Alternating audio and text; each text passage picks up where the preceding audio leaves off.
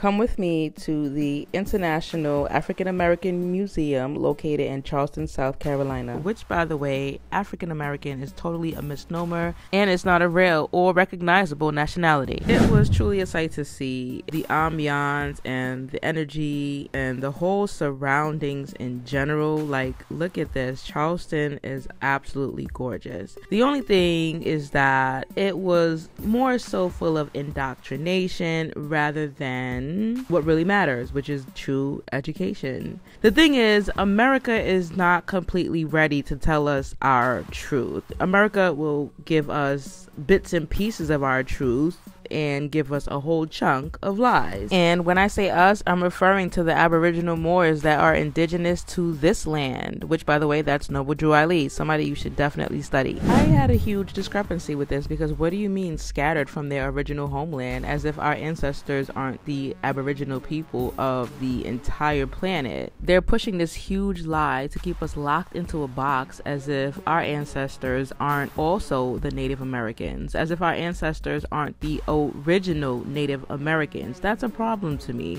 Anyway, the Gullah Geechee exhibit was really dope, but it was definitely fictitious and it was fantasy, their fantasy, because they made it seem as if all of the Gullah Geechee people arrived here on boats, and that's simply not true. Many of the Gullah Geechee people are actually aboriginal to this land, although some of them did come from so-called Africa. If you go back and watch my Gullah Geechee video, you'll see where I go further into detail. The Gullah Geechee people are a mixture of the native so-called Americans and the native so-called Africans that escaped slavery. They escaped the rice plantations together and then they built their own communities in the wild, raising children in freedom. Either way, they're all descendants of Moors. Isn't it interesting how they played Gullah Gullah Island, but they didn't tell us that the reason why slavery ended was because they couldn't stop the Gullah Wars? Anyway, my brother found this exhibit really interesting because he's Muslim. But it, what's even more interesting to me is the fact that they don't tell you that Islam really stands for I self law am master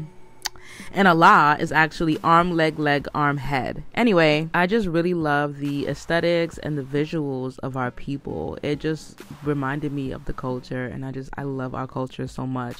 Now, this was the really fun part. They talked about African traditional religion, well, better yet, indigenous traditional religion, because we actually share the same spiritual practices as our people from all over the world. I mean, even the people that we know as Native Americans today take part in the same spiritual rituals and spiritual practices that we do in Africa, Brazil, the Caribbean, everywhere you could possibly think of because we all venerate our ancestors. We all honor the nature, spirits, and yeah, it just it, it, the connection is just very, very evident. They talked about the Orishas, Ifa, Isese, Candomblé, Santeria, all of the spiritual practices. It was just oh my gosh, it was amazing and the artwork look at this like what a creative people now while i know for a fact that some people were brought in from the so-called continent of africa to the so-called americas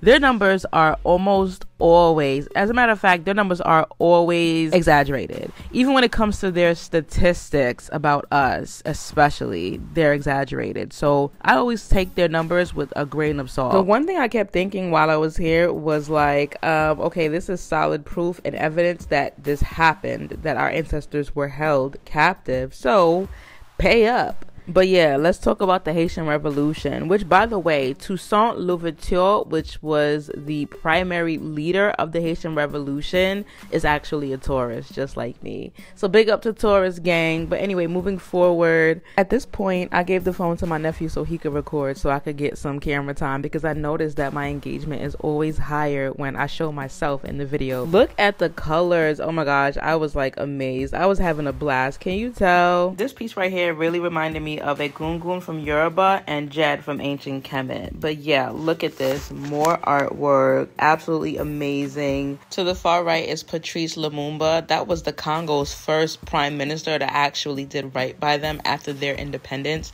But unfortunately, he was assassinated less than a year after he took the position. This wall was really cool because it was a timeline. And of course, their timeline. So I do suggest that regardless, you do your own research. And they bring us to Marcus Garvey, who was big Leo energy and he made huge steps in the movement. So we appreciate him always.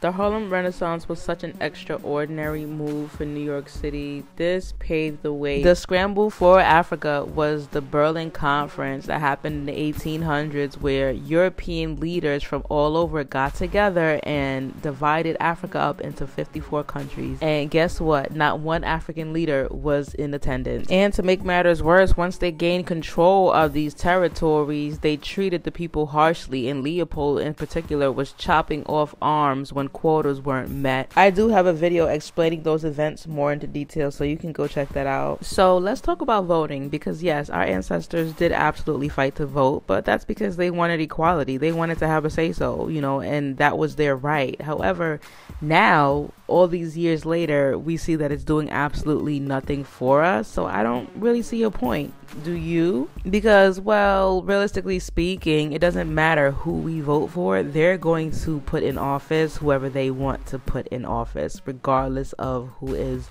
quote unquote elected. Now, read this sign, and this was an actual law, and it tells you that if you call yourself a Negro or a black person or a colored person, even an African American person, you are considered chattel. And that still stands because, once again, those are all misnomers. What is your actual nationality? By the way, have you ever noticed that the words Atlanta and Atlantic are oddly similar to the word Atlantis?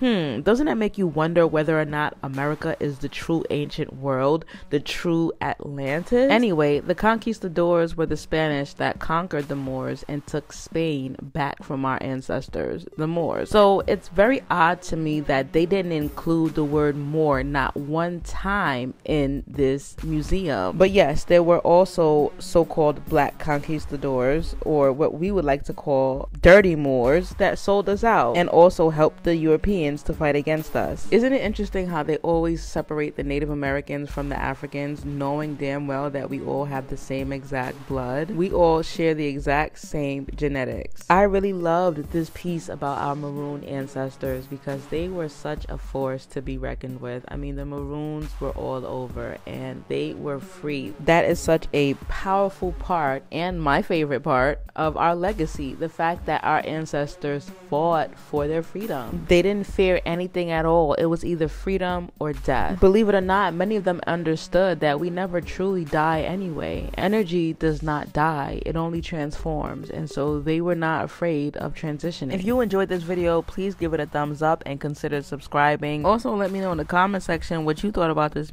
museum and if you would ever visit. Peace and oneness.